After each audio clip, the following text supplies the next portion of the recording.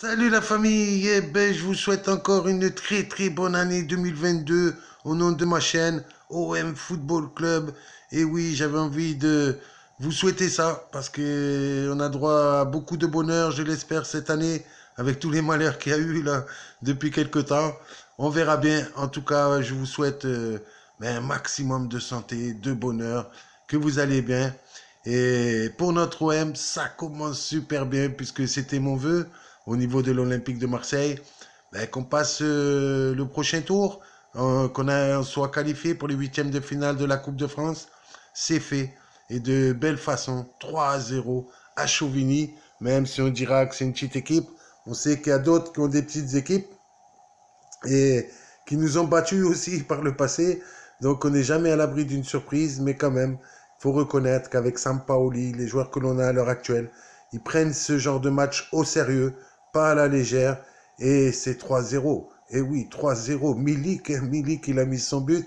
Lui qui est décrié par certains, même des youtubeurs qui voudraient, ça y est, que ça soit plus notre attaquant, qu'on lui trouve un remplaçant. Moi, personnellement, je dis c'est l'homme de la situation. On en reparlera plus tard, comme avec le cas de Payet. On a eu un but d'Under et ça, ça fait plaisir parce qu'on le sait qu'il commençait à mettre des buts et puis après il a été blessé et là il revenait ces quelques temps et il nous met un but pour commencer l'année. Magnifique. Et Harit, incroyable mais vrai, Harit a mis un but pour démarrer l'année. Ça fait du bien. 3 à 0. Franchement, c'est net, sans bavure. Donc ça, ça fait plaisir. On est qualifié pour les huitièmes de finale donc, euh, de la Coupe de France. Et bien sûr, mon deuxième vœu, c'est pas un vœu d'aujourd'hui, c'est un vœu que j'ai depuis longtemps, comme beaucoup de supporters de l'Olympique de Marseille. C'est enfin gagner en Gironde enfin gagné chez les Bordelais. Parce que Bordeaux, ça fait euh, vraiment, euh, je crois que c'est plus de 45 ans qu'on n'a pas gagné là-bas. Donc là, c'est le bon moment. On le sait qu'ils vont mal. On le sait que nous, on va bien.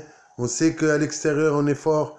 Donc il faut gagner. J'espère que Sampaoli, je suppose que lui, on lui aura dit que là-bas, on n'arrive pas à gagner, qu'on a eu des coups de poing dans le passé. Euh, il y a eu des matchs où on devait les gagner. On les a pas gagnés, soit match nul, soit on a perdu. Mais là, il faut gagner contre Bordeaux. Donc, c'est le 7.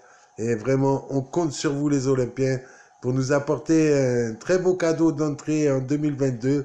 Une victoire à Bordeaux, vous imaginez. Allez, bonne année à tous et soyez heureux.